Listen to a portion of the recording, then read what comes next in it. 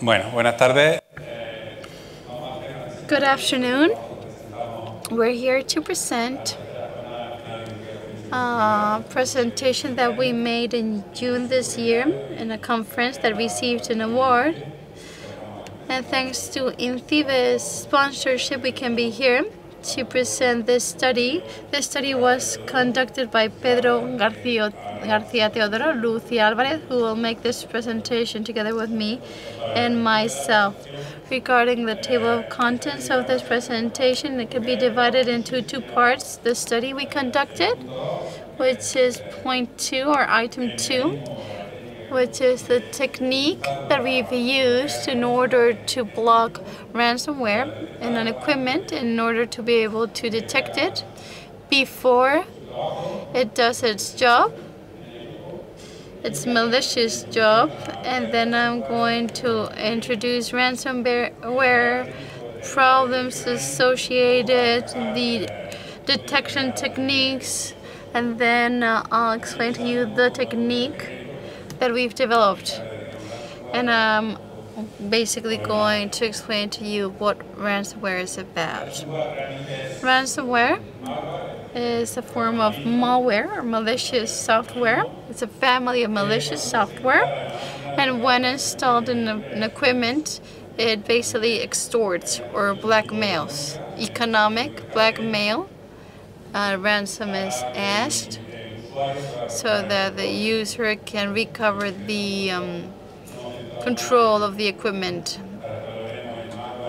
We've uh, focused more on um, encryption malware, basically accessing the hard drive of the infected equipment, encrypting all the files. Once encrypted, they are erased, and then uh, they ask for a ransom to the user of the device or the piece of the equipment in order for that user to be able to regain control. So the data are hijacked, the data of the infected machine, and that's why it can be considered a DOS attack, denial of service attack. And there are other kinds of extortions that uh, menace or threat the user uh, with uh, publishing personal data or pictures. Mm, this is a drive-by download distribution. We can download them through Word documents through the macros mechanism of word processors. Some can be downloaded through uh, PowerShell scripts, which is the order interpreter for current Windows system, also through Trojans.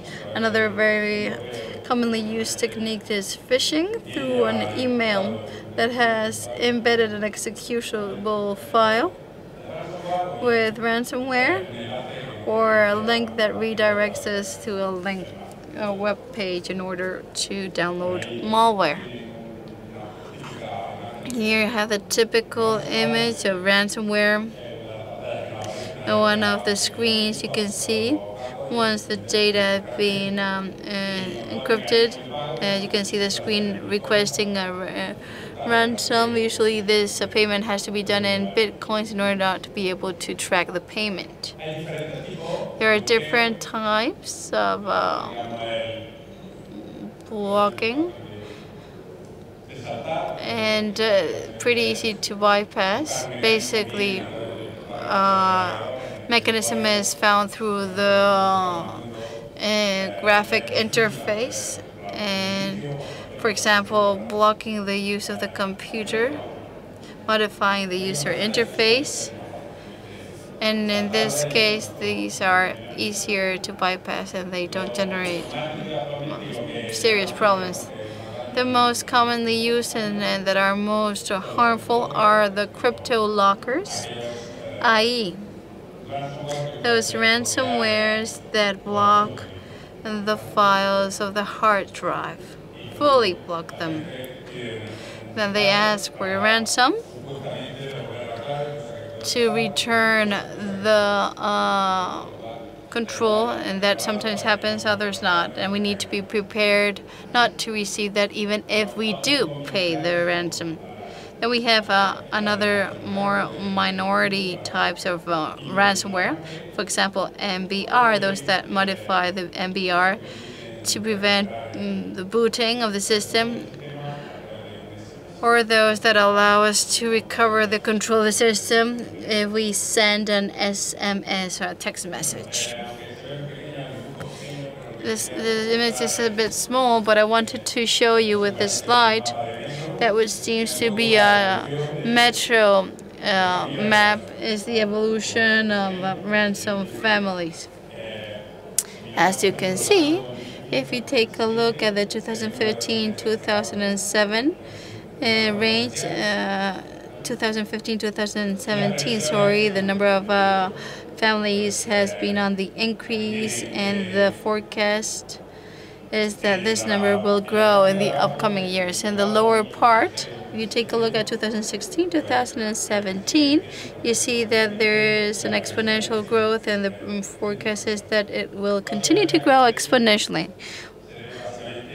This is due to the economic uh, profit obtained. The estimated cost for this year are $1 billion. $1 billion and in many cases ransomware uh, requests small amounts of money 200 300 euros but the profit is made when good ransomware when doing malicious um, uh, actions can infect um, thousands and thousands of devices as we saw some months ago with WannaCry.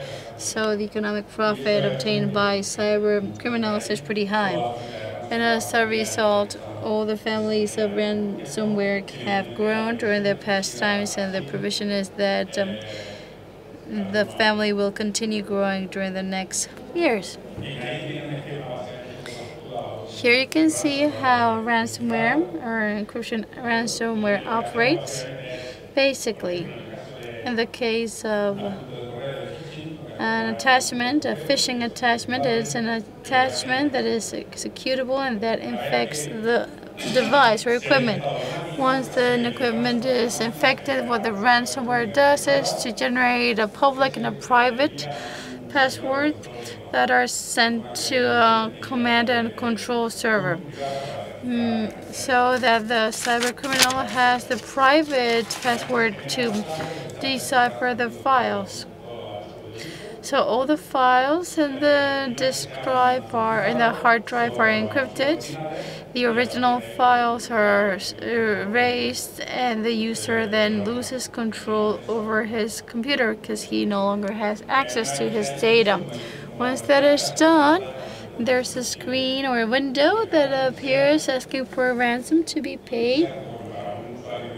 For an individual user, we can be talking about 200 euros. For a company, can be 17,000, 20,000 dollars. And usually, cyber criminals end up negotiating with the victim to decrease the amount or reach an agreement regarding the amount to be paid. And there are some families of ransomware for you to understand the complexity that in order to facilitate payment to the victim, what they do is open up a chat so that the victim can chat with the cyber criminal that tells him how he should pay the process that he needs to follow to recover his um, control.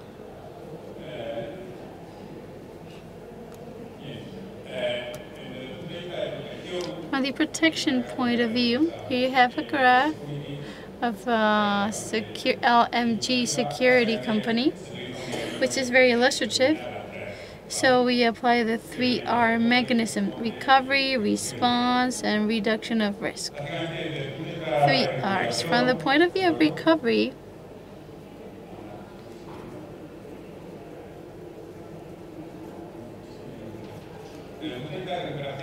From the point of view of recovery, as I was saying, the most commonly used technique that we need to have as a backup once we are possibly infected, what is recommended is to, of course, have a backup copy. Recent, updated backups.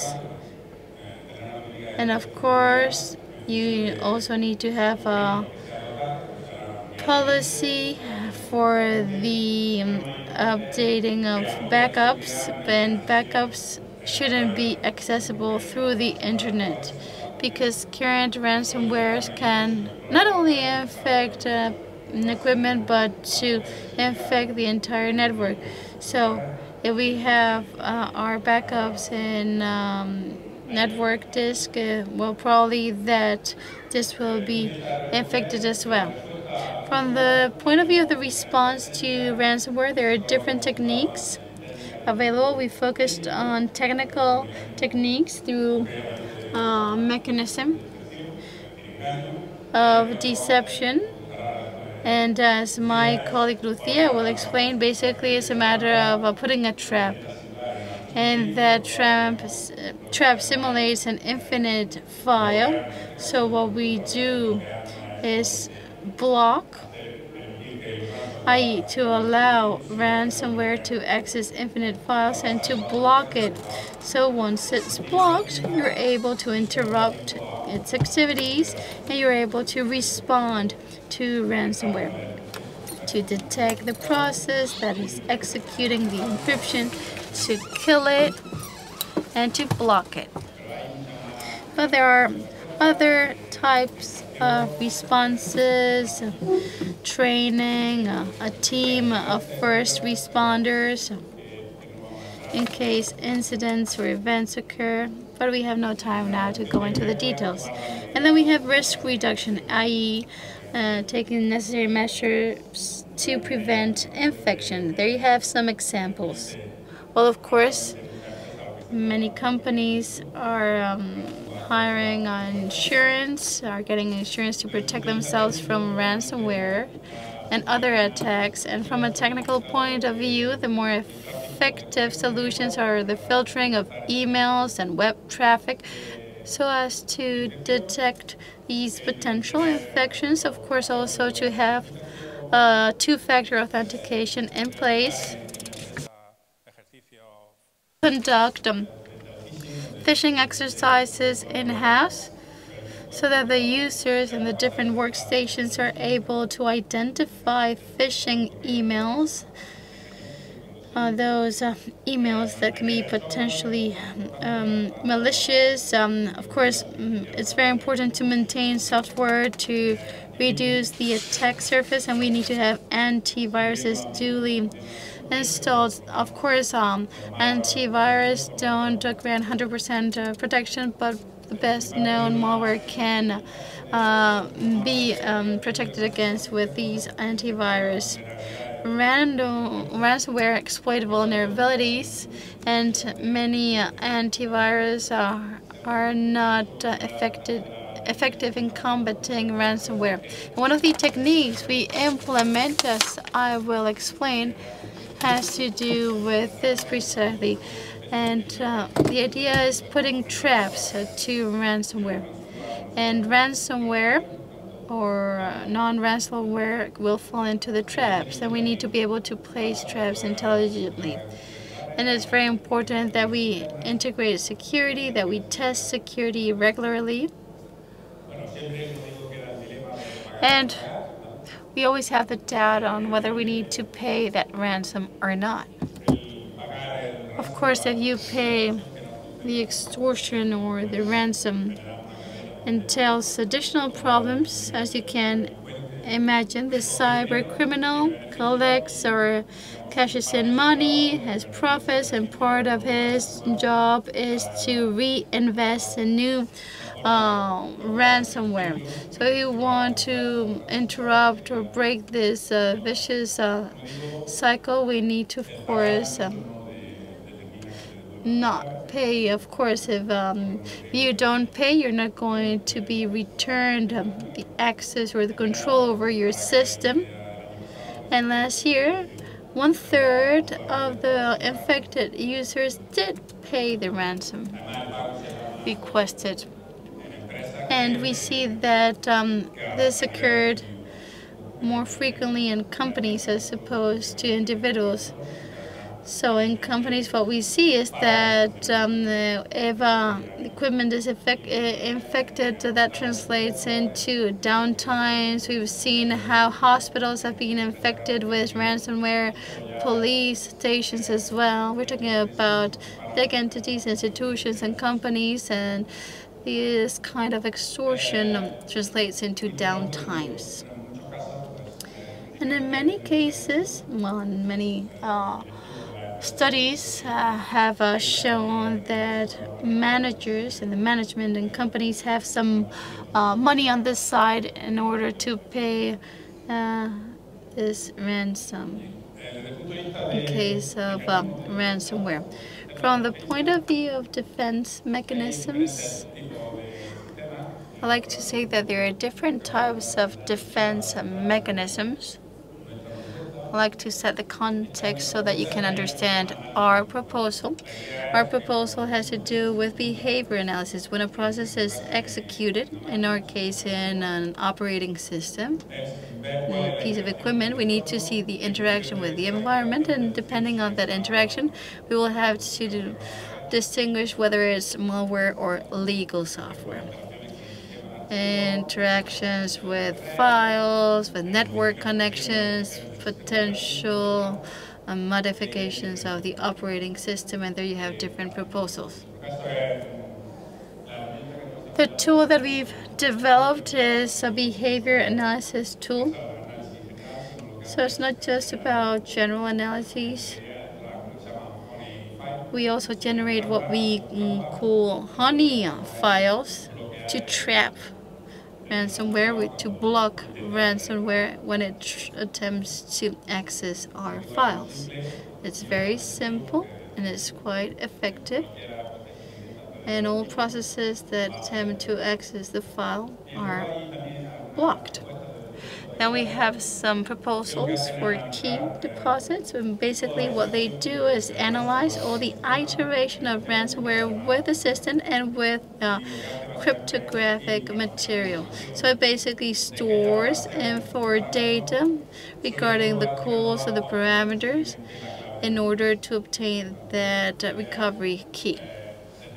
The idea is that we can detect the interaction of that ransomware with the files, know what keys have been generated, and try to deduct, deduct sorry, the um, recovery key.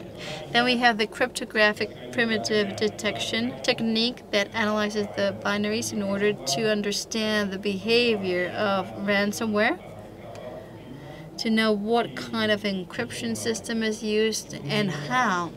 And last, what we've seen is that another of the techniques that are uh, being used is an automated learning technique that basically extracts the features of benign programs. And all these techniques, of course, have some false positives and false negatives that can pose some problems.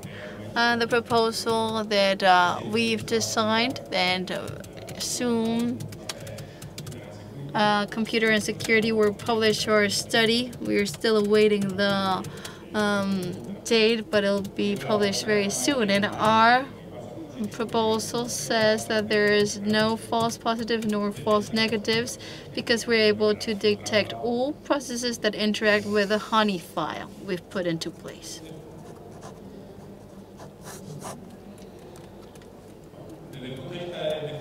From the point of view of detection, what are the problems associated to ransomware? For those techniques that use behavior analysis uh, components, one of the main problems that we've seen is obfuscation to alter the code of the data ransomware so that they are equivalent but uh, the visuals would be different. And um, this is used um, for antivirus and uh, in general we've seen this applied both for ransomware and malware and when this technique is used the signature is no longer valid. Then we have the so-called white box uh, cryptography. Basically, what we do is to variate uh, techniques different to encryption so we don't see the traditional encryption behavior. And um, we've also seen the ransomware of the things. We are now talking about the Internet of the Things, and just as we have the Internet of the Things, we have the ransomware of the things. Basically, we're going to detect um, ransomware in sensors, devices, so currently it's not a major problem, but it will probably be in the near future. And in this sense, I'd like to say that one of the problems that we're going to encounter will be the combination of ransomware and rootkit. A rootkit is a software that hides from the eyes of observers, among them uh, systems for network administrators.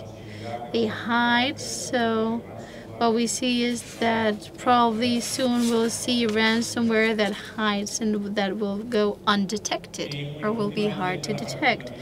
And recently we've identified the so-called social technical attacks.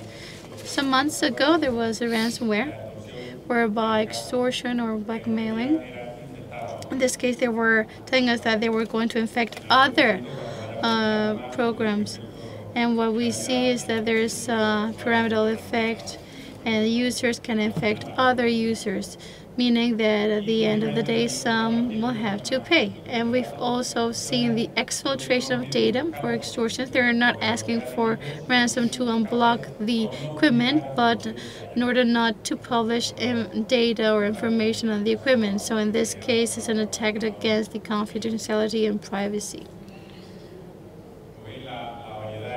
As you can see, there is a wide range of um, techniques and uh, all these techniques are very profitable for cyber criminals.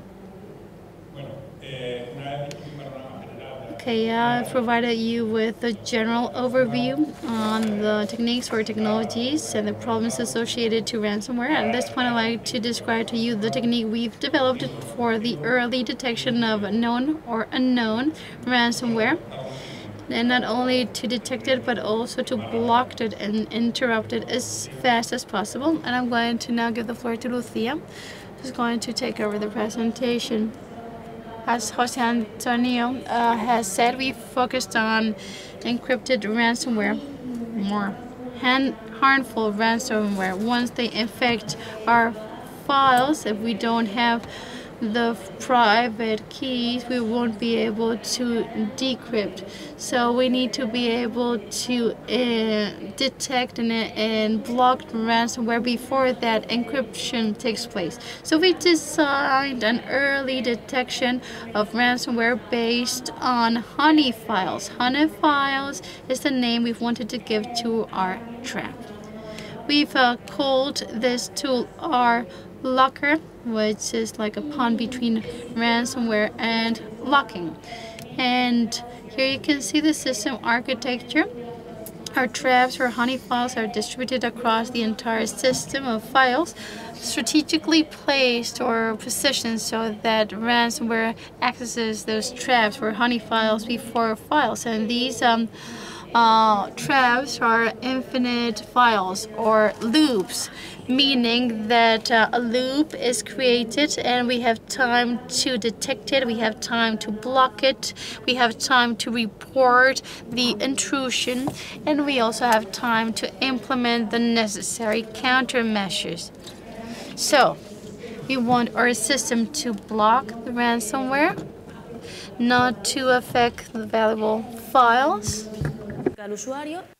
The user is uh, reported and countermeasures are implemented. This is a conceptual model and can be exported to any platform. What are the system requirements? Is it be efficient and effective? Is it um, give results in relation to ransomware and it does not uh, corrupt our files? Is it be low consumption so that users do not have to devote uh, many resources from the system uh, or embedded systems in uh, the Internet of Things. So not uh, too much um, memory. It does not, it shouldn't need a special privilege. It should be transparent and simple simplicity makes it more attra attractive. As a conceptual test, we have developed this idea, the Unix based on Linux. Once we see that it works and that it can be extrapolated to other systems, we are now working on it. We still have to see how do we create those uh, tricks. First, we thought about an infinite file, but it consumes too much, too many resources. So we thought about simulating infinite files, simulating the ransomware library. We should get to know ransomware uh, behaviors based on the signature, so it's not possible we finally came to the idea of doing with a fixed channel. They are processes of reading, uh, synchronized reading and writing processes. This could comply with all requirements. Why did we select FIFOs? They are files that exist in the system with a name and hierarchy. We can refer to them as normal files. It allowed to communicate non-related processes of writing and reading. They do not have to be related processes. It's persistent. Once the process is acting on the FIFO, it goes on working. And finally, the most important is synchronization of reading and writing processes. In this image, you can clearly see the functioning. We create a channel or a pathway where we start a writing process that is never eliminated.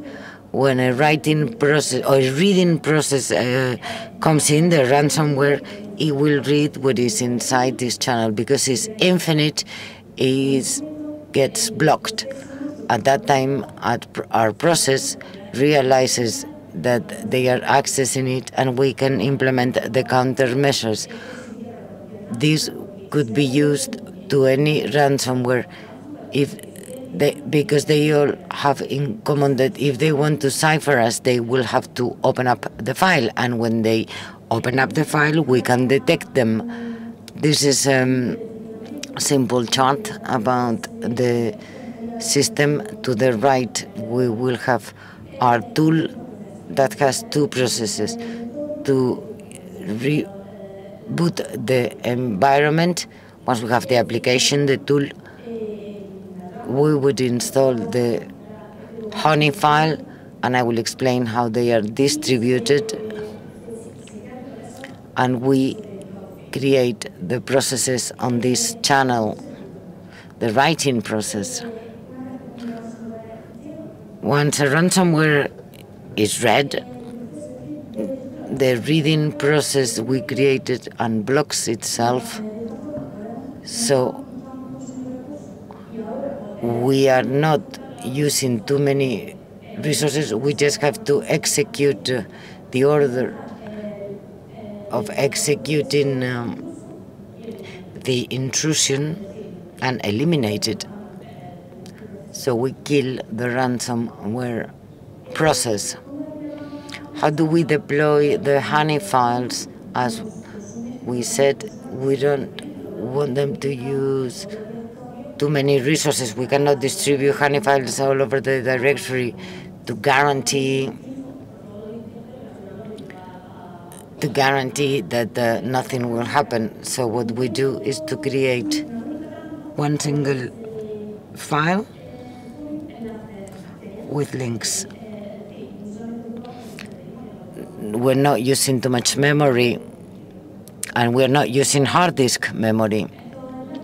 Those links are strategically located so that the, the ransomware, when getting to the directory, this is the first uh, file they ransomware might read. It has an attractive name. Some ransomware are based on file extension or file names.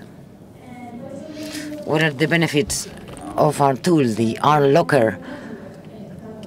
Ransomware uh, becomes fully blocked. Countermeasures are launched automatically.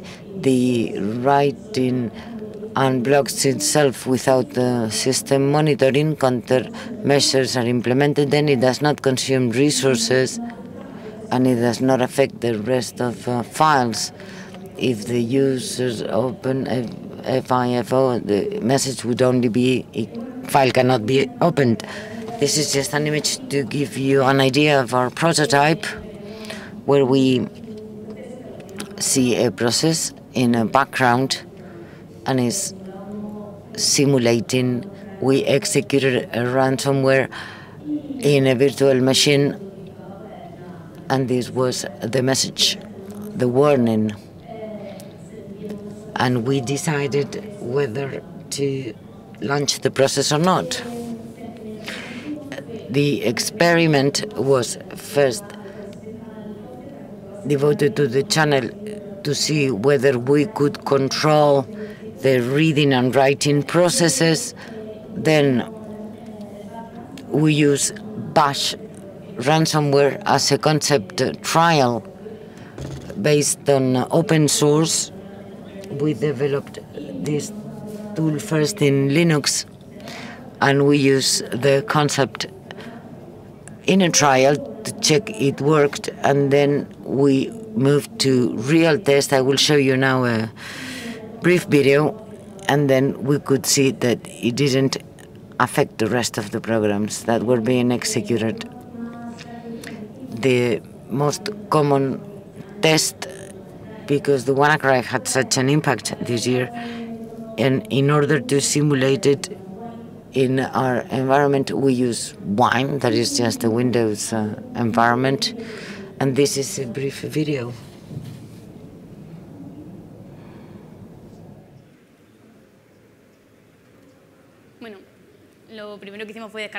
So we downloaded the sample WannaCry. This is the program. We created a folder that is hidden, but you can see it. The name is My Dear. We started the process and we left it on a background screen. Then we have the honey file, the real FIFO, and we created a symbolic link. We created some files in the directory to, to see whether they can cipher it or not. We execute wine simulating a Windows environment and we execute WannaCry it takes some time. It has to download all the files, and the first directory is being ciphered because the honey file is not the first. First, there's a warning about all processes, and I get a notification we eliminated and here we will see information about WannaCry that is accessing the FIFO. If we go to documents, we see that it didn't reach the documents directory because the WannaCry started by the desktop, although it's not always the case. And we see it didn't get any of the directory files, it was just on the desktop. And it we see all the files that were downloaded. And if we kill the process, sort of say the process stops.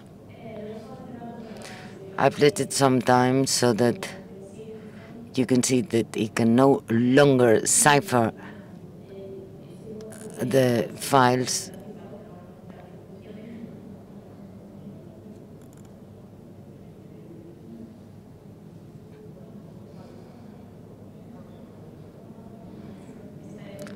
this will be fully ciphered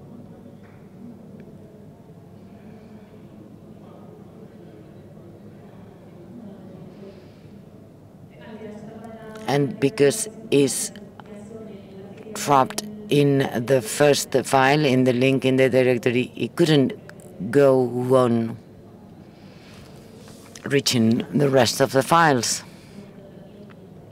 And we see that those documents or files have not been ciphered.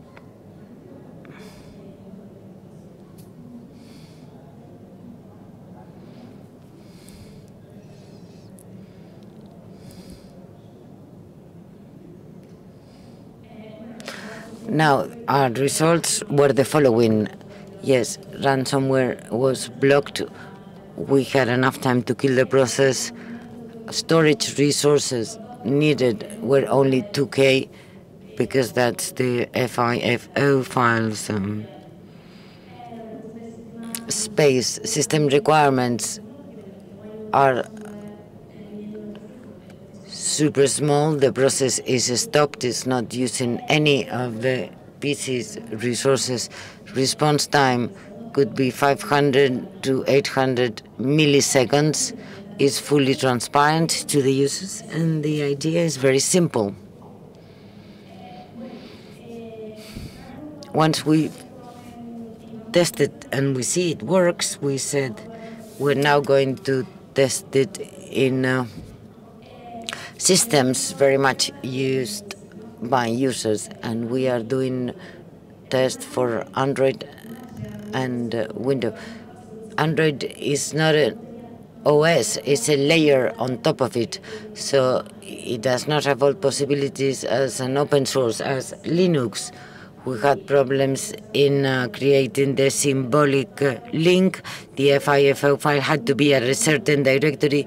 We can do it at the Android uh, kernel, and if we program it, it might have to work about the future, about deployment. And those are our current projects. We are continuing uh, with the project.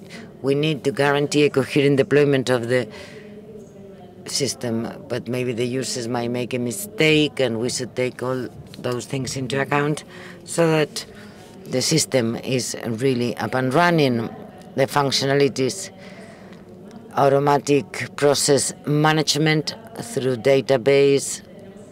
We determine whether the program is benign or not, whether it updates the database to eliminate malware files and to use it in other platforms. Android would be possible and also Mac OS and we're still working on Windows and is a very good proposal if it works because almost all users are using or are Windows uh, users as conclusions is um, an innovative methodology with very good results and we're based on a feature that is common to all ransom where the tool is being designed that complies with all pre-requirements. We have implemented it in Linux, and then we've studied